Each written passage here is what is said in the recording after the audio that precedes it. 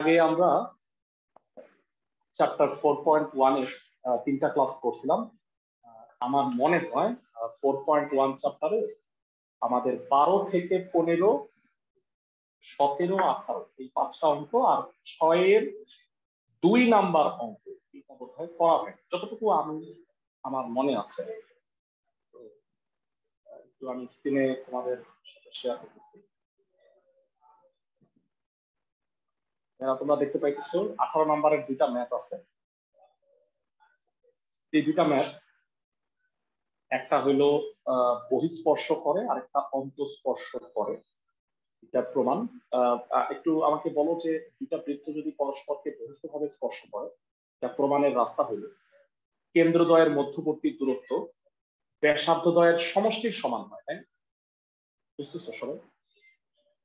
কেন্দ্রদ্বয়ের মধ্যবর্তী দূরত্ব ব্যাসার্ধদ্বয়ের সমষ্টির সমান হয়, কিন্তু যদি এই বৃত্ত দুটা পরস্পরকে অন্তস্থভাবে স্পর্শ করে, সেক্ষেত্রে কেন্দ্রদ্বয়ের মধ্যবর্তী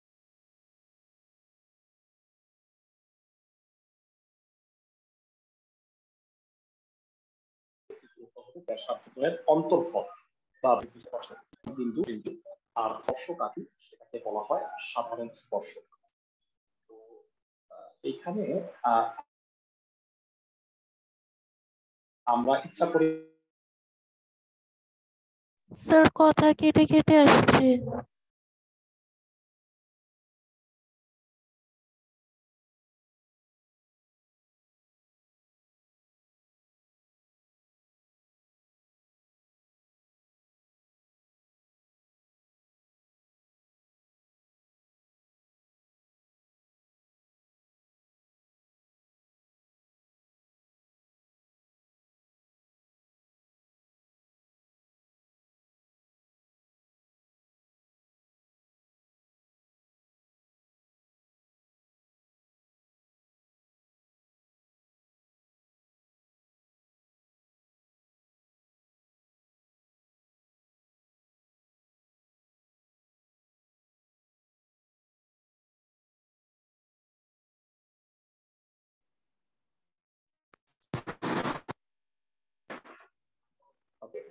দুঃখিত কথা কি শুনতে পাচ্ছ সবাই? ক্লাসের সবাই কি কথা শুনতে পাইতেছো?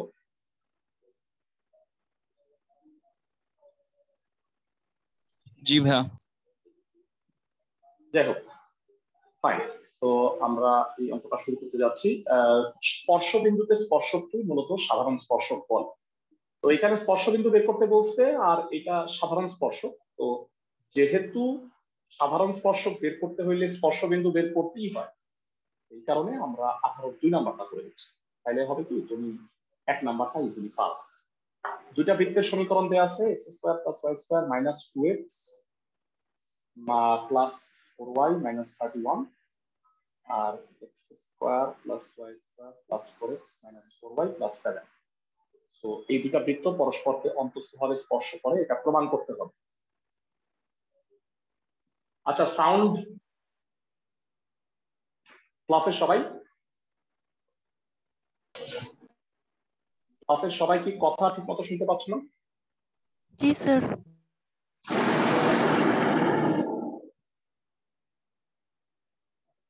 হ্যাঁ ঠিক আছে। আমি তাহলে অঙ্কটা শুরু করতে যাচ্ছি। তোমরা আমাকে বৃত্ত দুটার সমীকরণ একটু বই আঠারো দুই।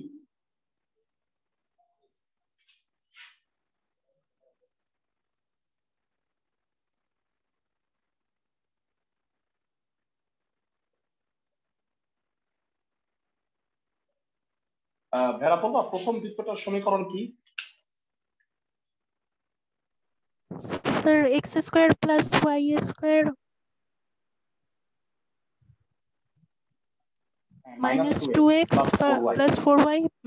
one equal to zero এটা হলো এক নাম্বার বৃত্ত। আর দুই নাম্বার বৃত্তটার সমীকরণটা কি বলো? X square plus y square plus y square plus four x Minus- minus four y plus seven equal to zero okay এই দুটা বৃত্ত দেয়া আছে। প্রদত্ত বৃত্তের সমীকরণ থেকে প্রথমেই কেন্দ্র আর ব্যাসার্ধটা একটু কষ্ট করে বের করে। প্রদত্ত বৃত্তের সমীকরণ। X square plus y square minus two x plus four y minus thirty one equal to zero এটা এক। আর x square plus y square plus four x minus four y plus seven তাহলে এক নং বৃত্তের কেন্দ্র কত? এক নং বৃত্তের কেন্দ্র। কেন্দ্রের স্থানাঙ্ক। তারা আমরা কেন্দ্রের স্থানাঙ্ক বের করতে পারি খুব সহজ। Minus two comma two. সহগ আর ওয়াই এর সহগ না minus one sorry one comma minus two. তাই না ভাইয়া এক্সের সহগ আর ওয়াই এর সহগকে মাইনাস টু দিয়ে ভাগ করতে এবং ব্যাসার্ধ আর ওয়ান কত হবে? রুট ওভার রুট ওভার এক প্লাস চার প্লাস একত্রিশ। রুট ছত্রিশ দ্যাট ইজ ছয়। তো এবারে জানাও দুই নং বৃত্তের কেন্দ্র আর ব্যাসার্ধ কত?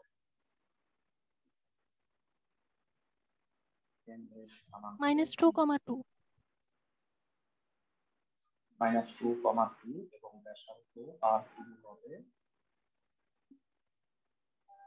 রুট ওভার চার প্লাস চার মাইনাস সাত দ্যাট ইজ ওয়ান এরা দুইটা বৃত্ত পরস্পরকে অন্তস্থভাবে স্পর্শ করে, এটা প্রমাণ করতে হবে তখনই, যখন কেন্দ্রদ্বয়ের মধ্যবর্তী দূরত্ব এবি ব্যাসার্ধদ্বয়ের বিয়োগ ফলের সমান হয় তো এখনও প্রমাণ হয় নাই, তাহলে বলো কেন্দ্রদ্বয়ের মধ্যবর্তী দূরত্ব কত হয়? কেন্দ্রদ্বয়ের মধ্যবর্তী দূরত্ব AB equal to root over one plus two whole square one plus two whole square plus minus 2 minus 2 whole square. So it will be 9 plus 16 that is uh, root 25 মানে হলো 5 5 মানে আর 1 minus আর তার মানে কি প্রমাণ হলো বলো তো ব্যাসার্ধদ্বয়ের কেন্দ্রদ্বয়ের মধ্যবর্তী দূরত্ব ব্যাসার্ধদ্বয়ের অন্তর্ফলের সমান। সুতরাং বৃত্ত দুটি পরস্পরকে কি করে? বৃত্ত দুটি পরস্পরকে অন্তঃস্পর্শ করে। বুঝতে পারছ? ক্লাসের সবাই। যারা আমি যে তোমাকে বাড়ির কাজটা দিব আঠারোর এক সেখানে কেন্দ্রদ্বয়ের মধ্যবর্তী দূরত্ব r one plus r two হবে। বহিতভাবে স্পর্শ করবে উল্টায় যেতে তখন ব্যাসার্ধদ্বয়ের যোগফলের সমান হইবে। সবাই কি বুঝতেছো?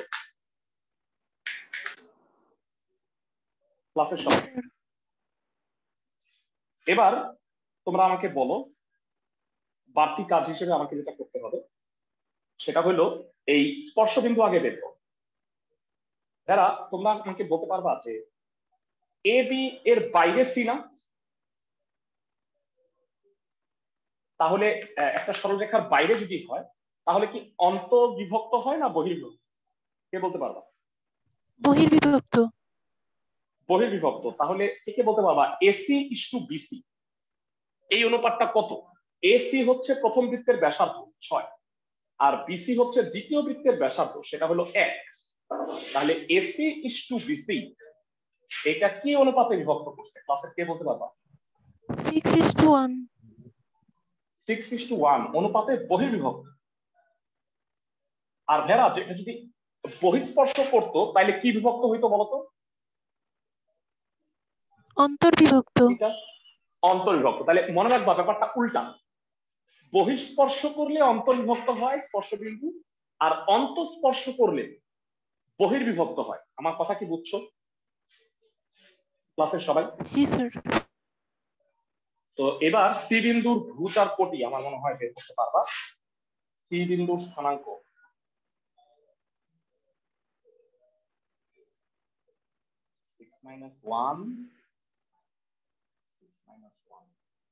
ছয় ইন্টু কত?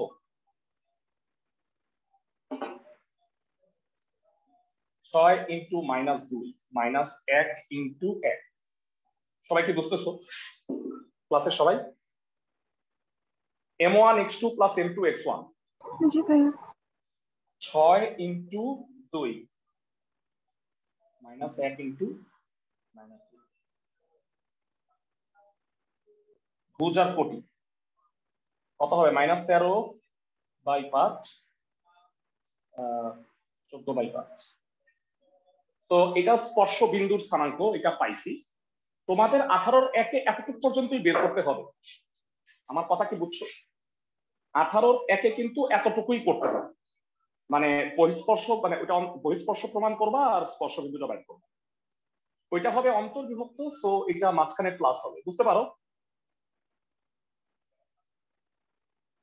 এখন আমরা এই অঙ্কটা কীভাবে করব? সাধারণ স্পর্শক বের করতে বলছে সিপি এটা বের করার একটা চমৎকার টেকনিক তোমাকে বলবি। ছোটবেলায় পড়ছি। বৃত্তের যে কোনো বিন্দুতে অঙ্কিত স্পর্শক স্পর্শ বিন্দুগামী ব্যাসার্ধের উপর লম্ব হয় তাই না ভাই? আমার কথা বুঝছ? তাহলে আমাকে বলো তুমি কি এবি সরল রেখার সমীকরণ বের করতে পারবা? এবিটাই তো এসি নাকি? ক্লাসে সবাই? তো কষ্ট করে তুমি সি নিও না কারণ কি সিটা একটু জঘন্য হয়েছে। আমি এ আর বি এই দুটা তো ভালো। এবি সরল রেখার সমীকরণ বের করি। এবি এর উপরে কি? সিপি লম্ব না? এবি এর উপরেই কি সিপি লম্ব না? সবাই কি বুঝতেছো? জি স্যার। ওকে তো আ যাক সমস্যা নেই। মুছে ফেলাটা ঠিক হয়নি। এবি সরল রেখার সমীকরণ। কত হবে? ক্লাসের থেকে বলতে পারবা? এবি সরল রেখার সমীকরণ হইল এই দুই বিন্দু। এ হইল ওয়ান মাইনাস ওয়ান আর বি হইল এটা তাহলে দুই বিন্দুগামী সরল রেখার সমীকরণ এ হইল ওয়ান মাইনাস ওয়ান না one minus two sir one minus two আর এটা হলো মাইনাস টু তাহলে এবি সরল রেখার সমীকরণ হবে x minus x one by x one minus x two y minus y one by y one minus তো x minus one by three minus y plus two by four হারাহারি গুণ করো। Four x minus four minus 3y minus 6. So 4x plus 3y plus 2 equal to c. তো এইটা হইল তোমাদের AB সরল রেখা তাহলে বলো, সাধারণ স্পর্শক সিপি এর সমীকরণ কি হবে এটার উপরে লম্ব সাধারণ স্পর্শক সিপি এর সমীকরণ কত হবে 3x minus 4y plus k equal to 0. Plus k equal to zero এখন বলো এটা কত বিন্দুগামী এটি কি সি বিন্দুগামী না? জি স্যার যা সি এত বিন্দুগামী আমরা সবাই জানি বিন্দুগামী মানে হলো শর্ত সিদ্ধ এক্সের জায়গায় মাইনাস তেরো বাই পাঁচ আর ওয়াই এর জায়গায়। বসায় দাও।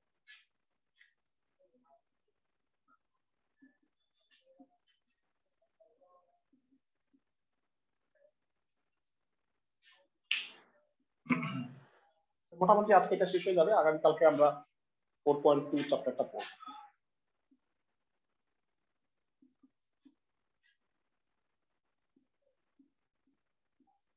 উনচল্লিশ আর এটা হলো পঁচানব্বই বাই পাঁচ হয়ে যায়। পঁচানব্বই বাই পাঁচ হলো উনিশ। তাহলে নির্ণেয়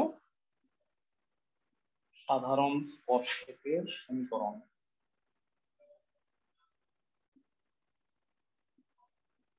Three x minus four y plus উনিশ আশা করি ক্লাসের সবাই বুঝতে পারছ।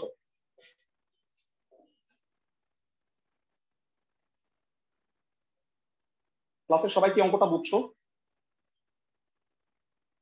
হিউজ মানে অনেকগুলো পার্ট আছে অঙ্কের মধ্যে। তো এটা আমাদের গেল। আঠারোর এক নাম্বারটা কাজ দিচ্ছি তোমাদের, অবশ্যই বাসায় কাজটা করো। দেখা যায় যে ক্লাসের টাইম একটা চেঞ্জ করলে স্টুডেন্ট শূন্যের কোথায় নেমে আসে। এটা আমি এক্সপেক্ট করছিলাম করার নেই। আমিও নিরুপায় তোমাদের সাথে সাথে। তো যাই হোক এবারে আমরা তেরোর দুইটা ম্যাথ আছে, এর মধ্যে একটা আমি করে দিব। আমি যেহেতু অন্তঃস্পর্শের একটা অঙ্ক করাইছি, এটা বহিঃস্পর্শটা করা তেরোর এক নাম্বারটা দেখো। বলছে যে চার কমা তিন কেন্দ্র বিশিষ্ট একটা বৃত্ত সমীকরণ নির্ণয় করো যা এত বৃত্তকে বহিস্থভাবে স্পর্শ করে। আমরা জানি দুইটা বৃত্ত যদি বহিস্থভাবে স্পর্শ করে, তাহলে কেন্দ্রদ্বয়ের মধ্যবর্তী দূরত্ব হয় ব্যাসার্ধ দ্বয়ের সমষ্টির সমান। তো তেরোর এক নাম্বারটা আমি করে দিচ্ছি। তোমরা তেরোর দুই নাম্বারটা বাসায় করবা একই রকম। একদম একই টাইপের অঙ্কগুলা তোমাদের নিজেদের বাসায় করা উচিত। তাহলে প্র্যাকটিসও হয়।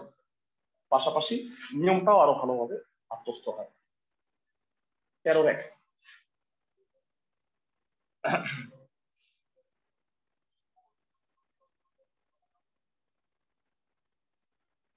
এই বৃত্তটা দেয়া আছে বৃত্তের কেন্দ্র হইল x square plus y square equal to four ধুমাধুম বলে দাও, এই বৃত্তের কেন্দ্র কত? ব্যাসার্ধ কত?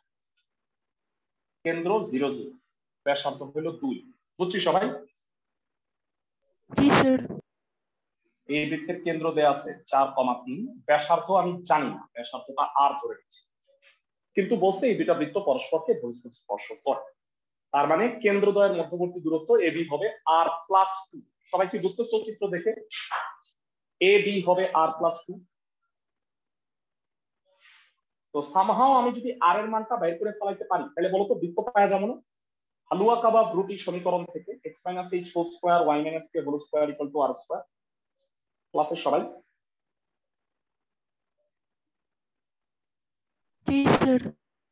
আচ্ছা একটা ইম্পর্টেন্ট ঘোষণা তোমাদের দিয়ে রাখি। তোমাদের বৃত্ত চ্যাপ্টারটা শেষ হলে তোমরা জানো যে তোমাদের শর্ট সিলেবাস অনুযায়ী ইসের শেষ। মানে সবগুলো চ্যাপ্টার আমরা পড়াইছি। এই মাসের বাকিটা সময়ে আমরা প্রতিটা চ্যাপ্টারের এমসিকিউ আর সিকিউ এর কিছু শর্টকাট রুলস শিখাবো। তোমরা চ্যাপ্টারগুলা পড়ছো কিন্তু কত সহজে ম্যাথ দ্রুত পড়া যায় প্রতিটা অধ্যায়ের এরকম ট্রিক্সগুলো আমরা শিখাবো। সেটা ফোর পয়েন্ট টুটা শেষ হলেই আমরা শুরু বুঝছ আমার কথা?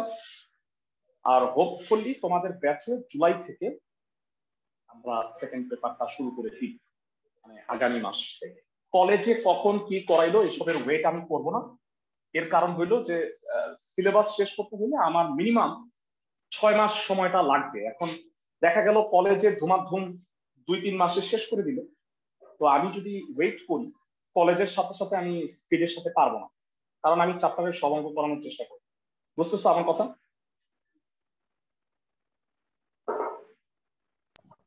ক্লাসের সবাই? আর কেউ যদি বৃত্ত আর সরি বৃত্ত বলছি ফাংশন আর ভেক্টর এই চ্যাপ্টার করতেই চাও, এদের আমি ক্লাসের বাইরে শিডিউল ক্লাসের বাইরে এক্সট্রা ক্লাস দিব। যারা যারা আগ্রহী যে ভাই আমি সব চ্যাপ্টার করতে চাই, তারা করে নিতে পারবে। ওকে তো প্রদত্ত বৃত্তের সমীকরণ.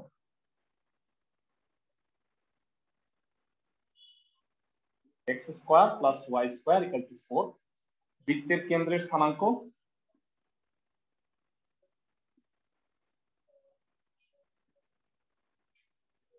বি জিরো জিরো এবং ব্যাসার্ধ দুই নির্ণয় দেয়া আছে। নির্ণয় বৃত্তের কেন্দ্রের স্থানাঙ্ক।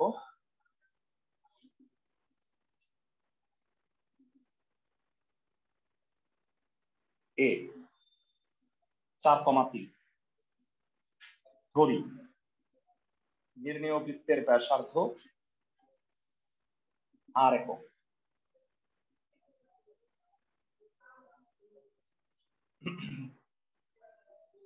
তো এবার বলো, প্রশ্ন মতে এ বি ইকুয়াল টু হবে আর প্লাস টু দুই বিন্দুর মধ্যে দূরত্বের সূত্র A B four minus zero whole square three minus zero whole square equal to r plus two এটা হলো পঁচিশের রুট পাঁচ। R plus two so r equal to তাহলে আমরা পেয়ে গেছি নির্ণয় বৃত্তের সমীকরণ। কত হবে? ক্লাসের থেকে বলতে পারলাম কেন্দ্র আর ব্যাসার্ধ দুটোই পেয়ে গেছি। তো কেন্দ্র দেওয়াই ছিল আর ব্যাসার্ধ হলো তিন। নির্ণয় বৃত্তের সমীকরণ।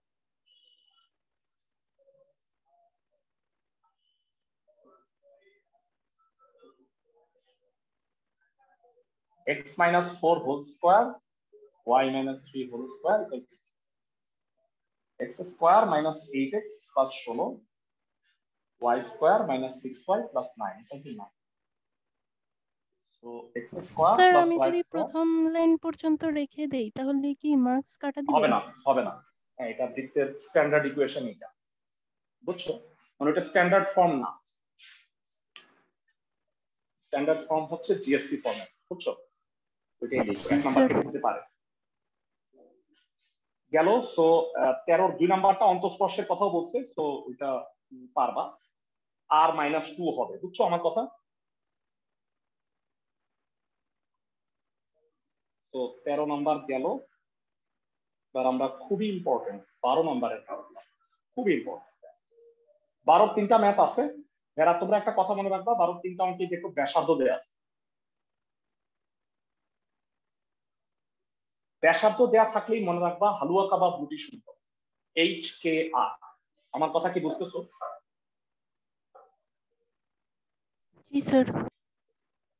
তো এর মধ্যে আমি বারোর এক নাম্বারটা করাই দিব। এটা সুপার ডুপার হিট মানে খুবই ইম্পর্টেন্ট একটা ম্যাথ একই রকম হচ্ছে বারো দুই তিন, তোমরা করবা ভ্যাপ মানে একই রকমগুলা যদি না পারো, আমাকে বইলো, আমার কাছে সলিউশন আছে। বিভিন্ন স্টুডেন্টরা যারা সলিউশন করে আমাকে পাঠাইছে, কোনোটা না পারলে আমাকে বইলো, অঙ্কটা দেখলেই বুঝে যাবা যে কীভাবে করতে হবে। কারণ একই টাইপের অঙ্ক তো তুমি করছ। বুঝতেছো আমার কথা? ক্লাসে সবাই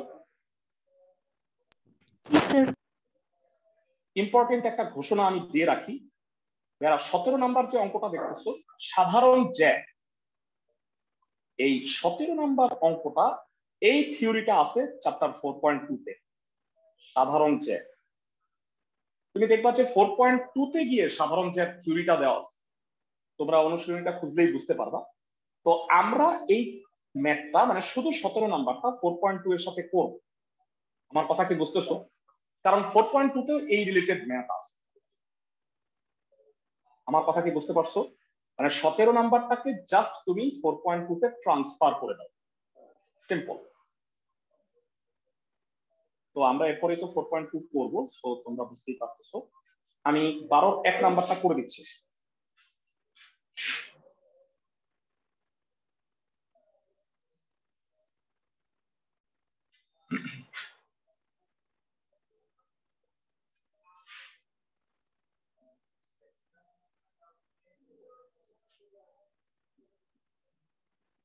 Y equal to 3x minus 7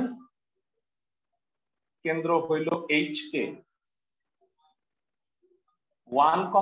বিন্দু দিয়া গেছে আর বৃত্তের ব্যাসার্ধ আর হচ্ছে half root ten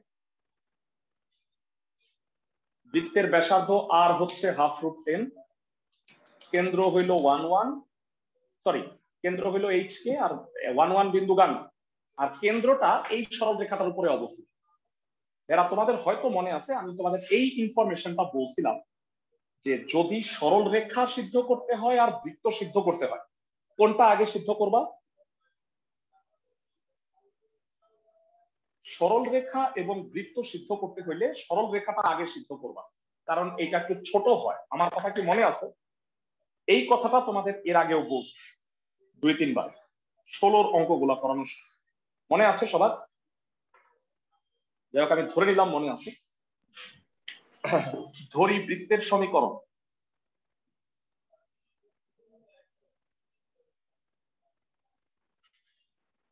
x minus h whole square, y minus a whole square equal to r square. r হচ্ছে half foot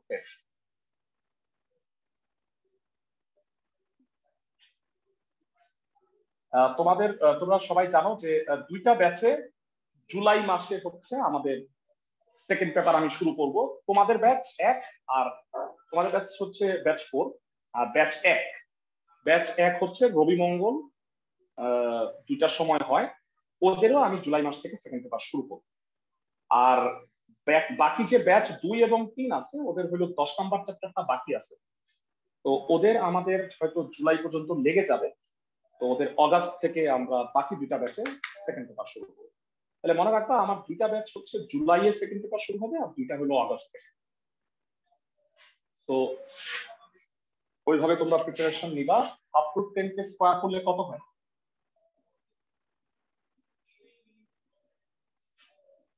Ten by four five by two এক number সমীকরণ দিয়ে রাখলাম। আমার এইচ আর কে এর মান বের করতে হবে। বৃত্তের কেন্দ্র h comma k. Y equal to 3x minus 7 রেখার উপর অবস্থিত। অর্থাৎ এক্সের স্থলে এইচ আর ওয়াই এর স্থলে k equal to three h minus seven আবার বৃত্তটি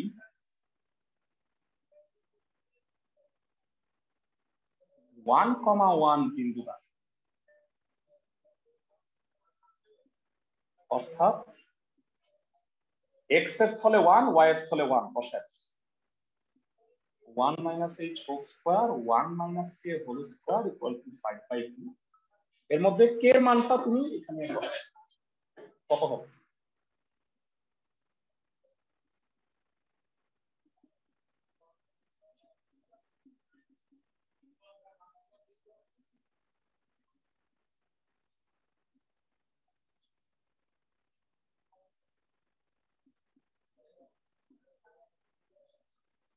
So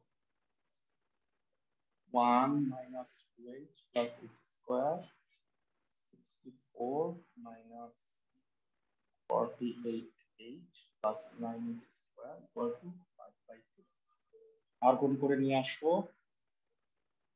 10h square minus 50h plus 65 equal to 5 by 2 ক্যালকুলেশনটা একটু বড় হবে দুইকে বামে নিয়ে আসো তারপরে এইচ এর দুটা মান বের করবা।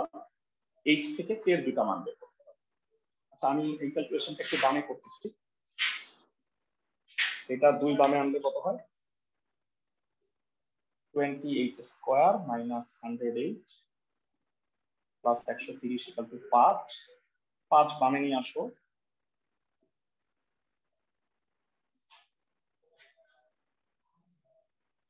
তো পাঁচ দিয়ে কেটে দেওয়া যায়।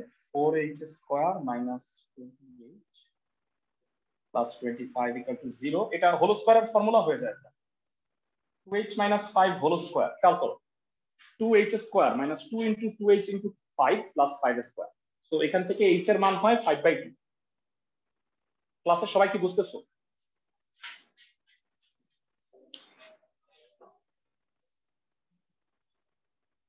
এটা একটা হোল স্কোয়ারের ফর্মুলা হয়ে যায়। ক্লাসের সবাই কি বুঝতেছো?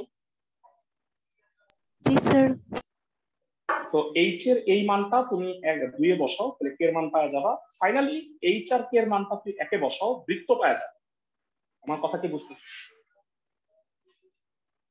তো তোমাদের বইয়ে যতগুলো। ক্যালকুলেশন আছে এর মধ্যে এটা সবচেয়ে বড় ক্যালকুলেশন তোমরা ভেড়া মনে রাখবা যে ফোর পয়েন্ট ওয়ানের সতেরো নাম্বার অঙ্ক কিন্তু ফোর পয়েন্ট টু এর অন্তর্গত। তো ওইটা বাদে বাকি বিশটা ম্যাথই করবা।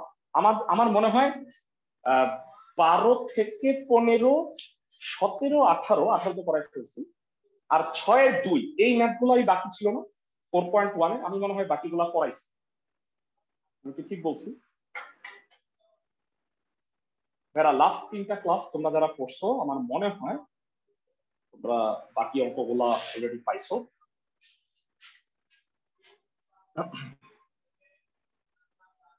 এবারে আসো এক ন দুই নং থেকে কে কত হবে? Three into five by two minus half minus seven মানে হাফ হয়। তো নির্ণয় বৃত্তের সমীকরণ এখানে বসাই দিই।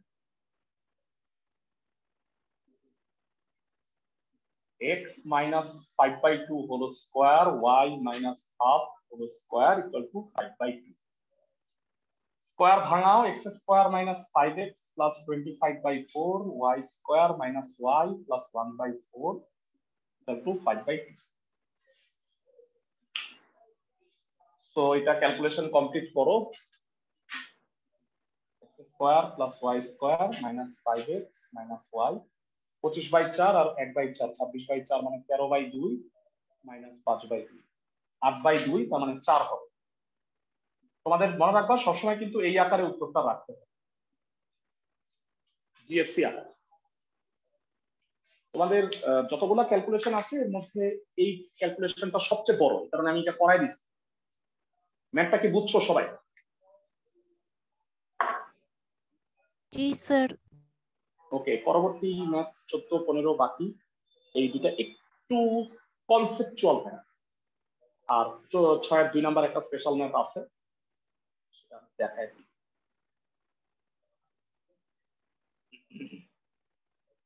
আচ্ছা পনেরো আগে চোদ্দ নাম্বারটা করে আসি।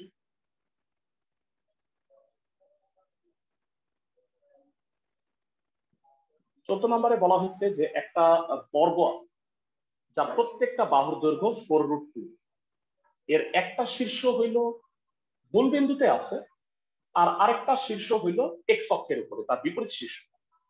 মানে বর্গক্ষেত্রের একটা শীর্ষ যদি মূল বিন্দুতে থাকে বিপরীত শীর্ষ এক্স অক্ষের উপরে থাকলে বর্গটা এমন হবে না দেখো তো বুঝতেছো? মানে এইটা যদি একটা শীর্ষ হয় তার বিপরীত শীর্ষ হয় এইটা। একটা বলছে মূল বিন্দুতে আর একটা এক্স অক্ষের উপরে। তাহলে বর্গটা এরকম ঘুড়ির মতো হয়ে যাবে না? সবাইকে আমার কথা বুঝতেছো? জি তবে এক্স অক্ষের কোথায় ডানে নাকি বামে তা কিন্তু বলেন তাইলে তুমি যেভাবে আঁকবা, আমি আঁকার স্টাইলটা তোমাকে দেখা দিচ্ছি। অঙ্কটা খুবই ছোট, কিন্তু আসলে বুঝে নিতে হবে চিত্রটা।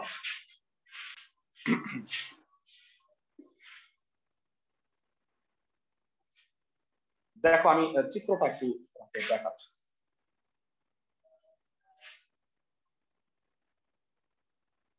তুমি এখানে একটা বৃত্ত আঁকবা। এটা একটা বৃত্ত আঁকবা সমান সাইজের দুইটা বৃত্ত আঁকবা কেন্দ্রটা একটা যেন মূল বিন্দুতে থাকে। এই এই। এবার এখানে স্কেল ধরে এখানে আর এখানে দুইটা বিন্দু বের করবে চার কোনা যোগ করলে তুমি বর্গটা পাওয়া যাবে। আগে বর্গ এটা বৃত্ত আঁকতে গেলে ঝামেলা হবে। বুঝতেছো?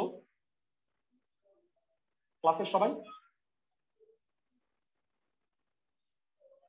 দেখো, এই বর্গের একটা প্রান্ত তো মূল বিন্দুতে, O, A, B, C, R O, A prime, B prime, C prime.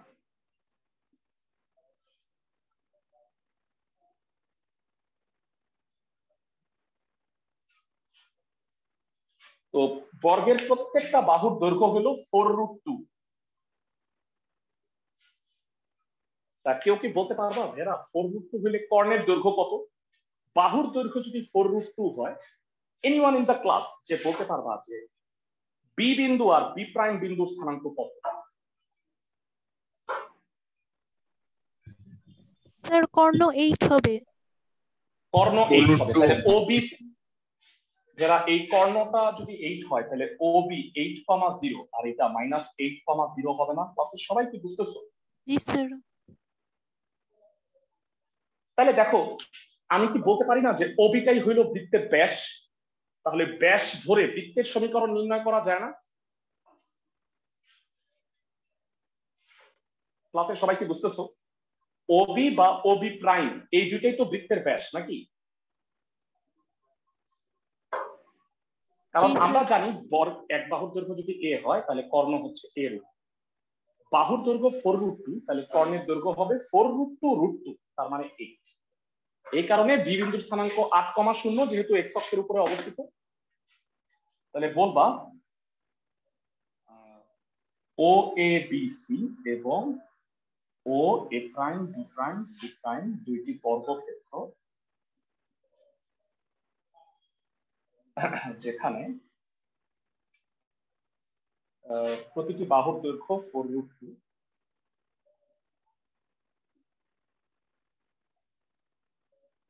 four root two একক। সুতরাং বি ও বি প্রাইম বিন্দুর স্থানাঙ্ক এইট কমা জিরো এবং মাইনাস এইট কমা জিরো এখন বলো ও বি কে ব্যাস ধরে বৃত্তের সমীকরণ কত হবে? ভেড়া, তোমাদের কি মনে আছে? এক্স ওয়ান ওয়াই ওয়ান আর এক্স টু ওয়াই দুইটা বিন্দু যদি ব্যাসের প্রান্ত বিন্দু হয় বৃত্তের সমীকরণ কত হয়? X minus x one x minus x two plus y minus y one y minus y hopefully সবার মনে আছে, তাই না ধরো? X minus x one x minus x two y minus y one y minus y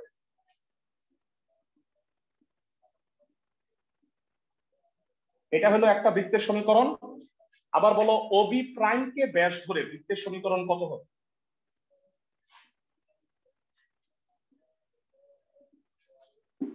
OB prime x minus zero x plus eight y minus zero y minus কত হবে ভেরা square plus y square plus eight তার মানে এটা plus eight x এটা minus eight এই হলো দুটার মধ্যে পার্থক্য। অঙ্কটা দেখো তিন চার লাইনে কিন্তু চিত্রটা বুঝে নিতে হয়। আমার কথা কি বুঝছ সবাই?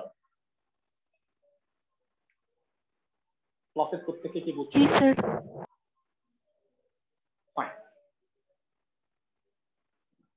চিত্রটা সুন্দর করে আঁকবা স্কেল দিয়ে আঁকবা তাহলে ভালো হবে। স্কেল আর কম্পাস ইউজ করবা। কলম দিয়ে আঁকলে কোনো প্রবলেম নেই। পেন্সিল দিয়ে আঁকতে হবে নট নেসেসারি দুটা অঙ্ক আমাদের বাকি আছে। পনেরো এরা কেউ কি বলতে পারবা? এক্স ইকাল টু জিরো মান কি? X equal to zero y অক্ষের X equal to সমান্তরাল সমীকরণ। না না ভাই না ভাই ওয়াই অক্ষ নিচে। মানে এক্স ইকাল টু জিরো মানে হলো অক্ষ। এক্স ইকাল টু এ হলো ওয়াই অক্ষের সমান্তরাল। বুঝতেছো? জি আর sir y equal y equal to zero মানে হলো অক্ষ নিচে। অক্ষ ওয়াই অক্ষ আর অক্ষের সমান্তরাল। এই তিনটা রেখাকে স্পর্শ করে যায়, এমন বৃত্তের সমীকরণ আমাকে নির্ণয় করতে হবে। তাহলে আসো, আমরা এটা একটু করে আমি দুইটা অঙ্কই বুঝাই দিব, যদিও পনেরো দুই তোমাদের কাজ থাকে, কিন্তু আমি অঙ্কটা অবশ্যই বুঝাই দিব।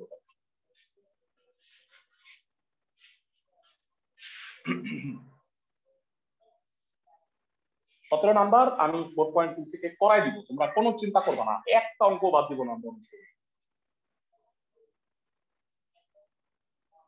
ওকে সো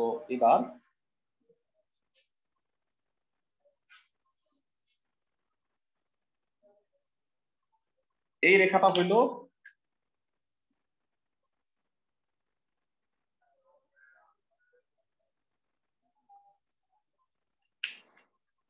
এই রেখাটা হলো y টু 0 এই রেখাটা হলো x টু 0 আর এই রেখাটা হলো x টু a এই তিনটাকে টাচ করে যায় এমন বৃত্তের সমীকরণ হচ্ছে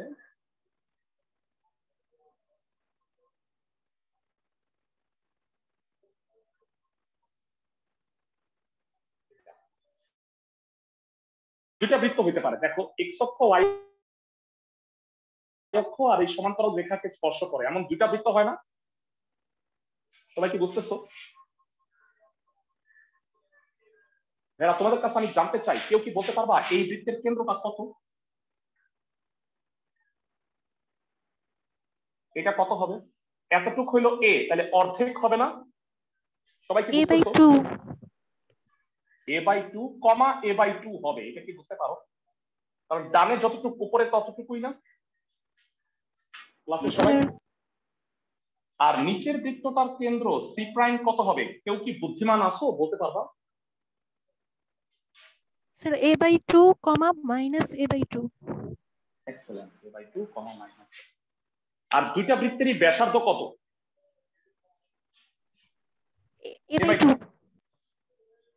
ওকে কেন্দ্র আর ব্যাসার্ধ পেয়ে গেলে বৃত্ত বের করা একদমই সহজ। প্রদত্ত রেখার সমীকরণ।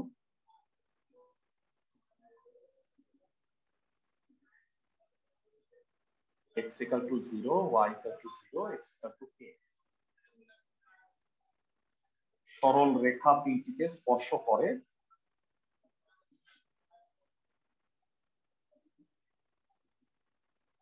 এরূপ দুইটি বৃত্ত পাওয়া যাবে। এরূপ দুইটি বৃত্ত পাওয়া যায় যাদের কেন্দ্র a by two comma plus minus a by two এবং ব্যাসার্ধ এ বাই টু একক। আই থিঙ্ক সবাই বুঝতে পারছ, তাই না চিত্র একে সরাসরি লিখে দিলেই চলবে। ক্লাসে সবাই কি বুঝছ? সুন্দর করে চিত্রটা একে এই বর্ণনা লিখে দিলেই চলবে। এবার নির্ণেয় বৃত্তের সমীকরণ। কেন্দ্র ব্যাসার্ধ হইলে কোন সমীকরণে যাই আমরা বলতো এইচ কে আর h k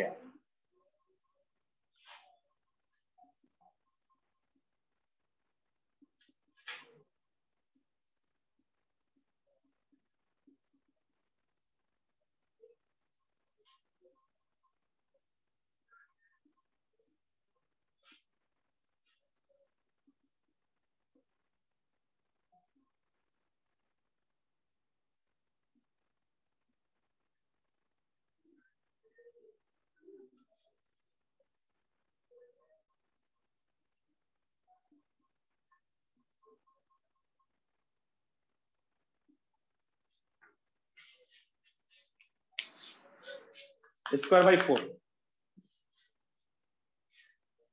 বলছি সবাই।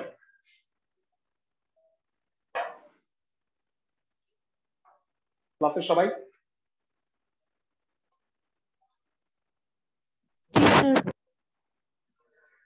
ফাইন সো পনেরোর এক হয়ে গেল। আমি তোমাদের পনেরোর দুই নাম্বারটা একটু বুঝাই করাই দিব না কিন্তু তোমাদের কাছ থেকেই অ্যান্সারটা নিব।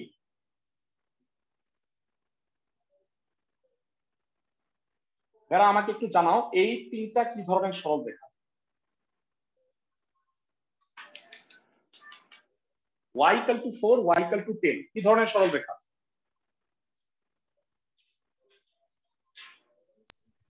y equal to 4 y equal to 10 কি ধরনের সরল রেখা?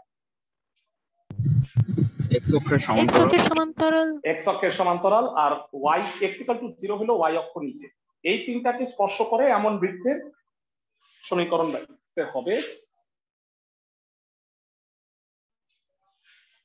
তোমরা যদি কেন্দ্র ব্যাসার্ধ বলতে পারো, তাইলে কাজ হয়ে গেছে। তারপর এটা এরকম। y equal to 4 y equal to 10 x অক্ষের সমান্তরাল। আর এটা হলো x equal to 0 এই তিনটাকে টাচ করে এরকম দুইটা বৃত্ত পাওয়া যায় এই এই বুঝাতে পারলাম? ক্লাসের সবাইকে। কে কে বলতে পারবা এই বৃত্তের কেন্দ্র আর ব্যাসার্ধ কত? তার কনসেপ্ট হইল ভালো যে বলতে পারবা। কেন্দ্র এবং ব্যাসার্ধ কত?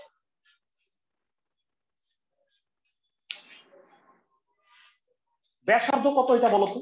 এটা তো সোজা। তিন তিন। ব্যাসার্ধ তিন।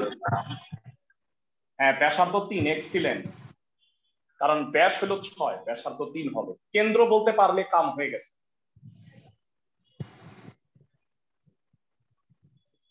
পারতেছো না।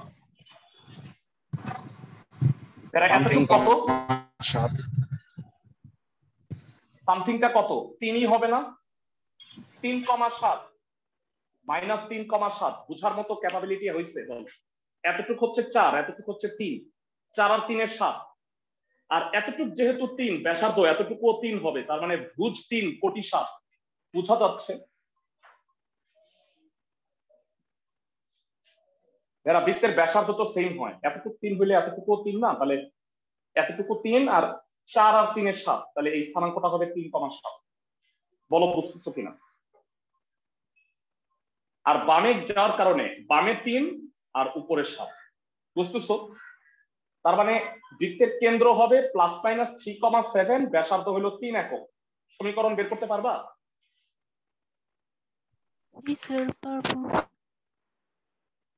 বলে দিলাম। আচ্ছা যাই হোক আমরা লাস্ট অঙ্কটায় যাচ্ছি। এরা তোমাদের কি আমি জানি না তোমাদের কি মনে আছে আহ, খলিফার সূত্র? সরল রেখায় পড়ছিলাম অনেক অনেক আগে। আমি একটু কনফিউজ যে তোমাদের মনে আছে কিনা। একটু বলে দিই।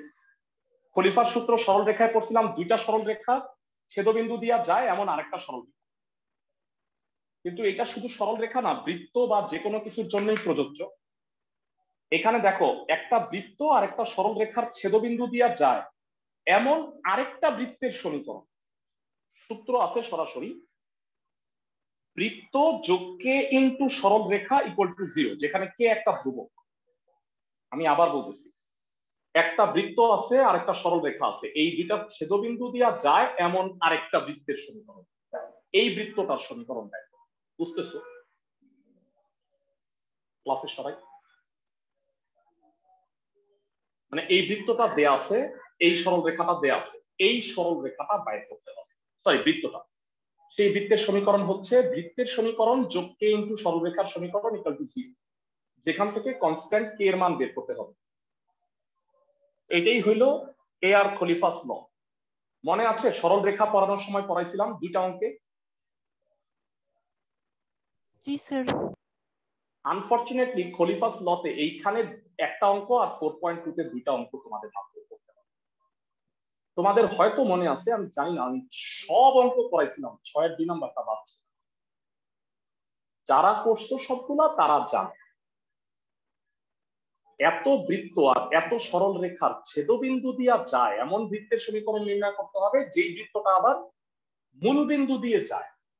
বুঝতেছো আমার কথা? ক্লাসের সবাই? তো এখানে খলিফার সূত্রটা আমরা ইউজ করব। আসো, এই অঙ্কটা একটা করায় দিই। ছয়ের দুই নাম্বার।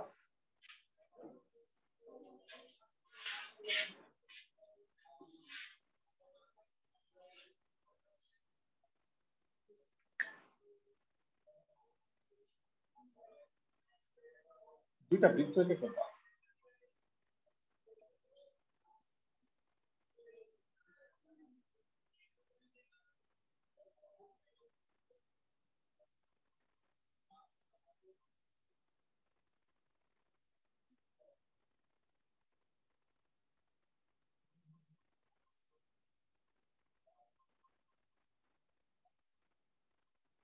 তো ভেড়া যেটা দেয়া আছে এই বৃত্তটার সমীকরণ দেয়া আছে।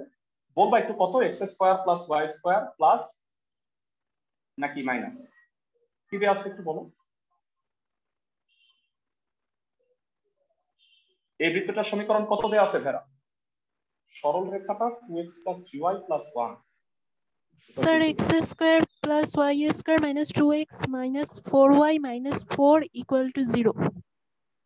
Okay এটা হলো বৃত্ত আর এটা হলো সরল রেখা। এই দুটার ছেদবিন্দু দিয়ে এটা গেছে এটাকে আমাকে বের করতে হবে। বুঝতেছো আমার কথা? আর এই বৃত্তটা কত বিন্দু দিয়ে যায়? নির্ণেয় বৃত্তটা মূল বিন্দু জিরো জিরো দিয়ে যায়। আমি কি বুঝাইতে পারতেছি অঙ্কটা? মানে অঙ্কটা চাইলে তুমি নর্মাল নিয়মে করতে পারতা যে এই দুইটা সমাধান করে ছেদবিন্দু বের করতাম কিন্তু তাতে অঙ্কটা ম্যাসিভ বড় হয়ে যায় মানে এখান এটা এটা ছেদবিন্দু বের করতেই তোমার দুই পৃষ্ঠা লাগবে। বুঝতেছো আমার কথা? ছেদবিন্দু বের না করে সরাসরি আরেকটা বৃত্তের সমীকরণ বের করা এই পদ্ধতিটাই আবিষ্কার করছেন আব্দুর রহমান খলিফা। তিনি ঢাকা ইউনিভার্সিটির প্রফেসর ছিলেন। বুঝতেছো আমার কথা? স্যার এখানে মূল বিন্দুটা কি যে কোনো জায়গায় দেয়া যাবে? ওই মানে আমি তো স্থানাঙ্কের অক্ষ তো আঁকিনি। স্থানাঙ্কের অক্ষে হইলে সেটা মূল বিন্দু দেওয়া যায়। বুঝতেছো আমার কথা? জি স্যার। প্রদত্ত বৃত্তের সমীকরণ। সরল রেখার সমীকরণ।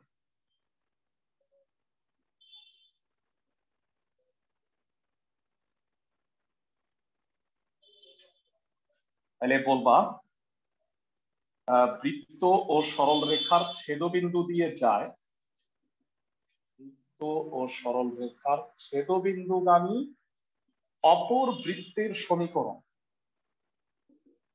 কত হবে যারা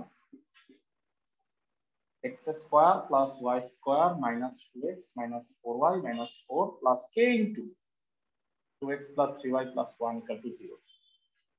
এখন বলো, এটি হচ্ছে এই বৃত্তটার সমীকরণ। এই বৃত্তটা কত বিন্দুগামী? Zero zero. তাহলে এইটা দ্বারা সিদ্ধ হবে না। যারা বিন্দুগামী মানেই তো শর্ত সিদ্ধ। তার মানে এই বৃত্তটা যা কিনা মূল বিন্দু জিরো জিরো দিয়ে যায়।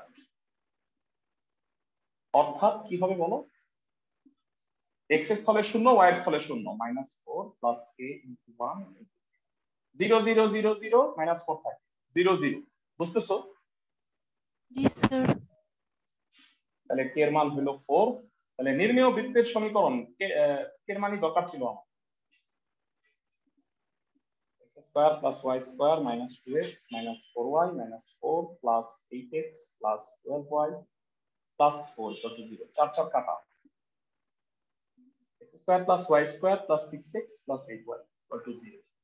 হলো এই বৃত্তটার সমীকরণ। সবাই বুঝতে পারছ। খলিফার সূত্রে আমরা আবার ফিরব চ্যাপ্টার ফোর পয়েন্ট টু তে। ম্যাথটা কি বুঝছ? হোমওয়ার্ক. বলে দিচ্ছি আজকে। ফোর পয়েন্ট ওয়ান শেষ সতেরো নাম্বার ছাড়া। হোমওয়ার্কগুলা হইল তোমাদের তেরোর সরি বারোর দুই তিন তেরোর দুই পনেরোর দুই আঠারোর দুই। এই অঙ্ক সরি আঠারো এক। এই পাঁচটা অঙ্ক হচ্ছে আজকের কাজ। পাঁচটা অঙ্ক সুন্দরভাবে করে কালকে আমাকে সাবমিট করবা। কালকে থেকে ফোর পয়েন্ট টু ফোর অনেকেই ক্লাস করে নাই রেকর্ডিংটা গ্রুপে দিয়ে দিব, যারা দরকার। ভালো থাকো সবাই।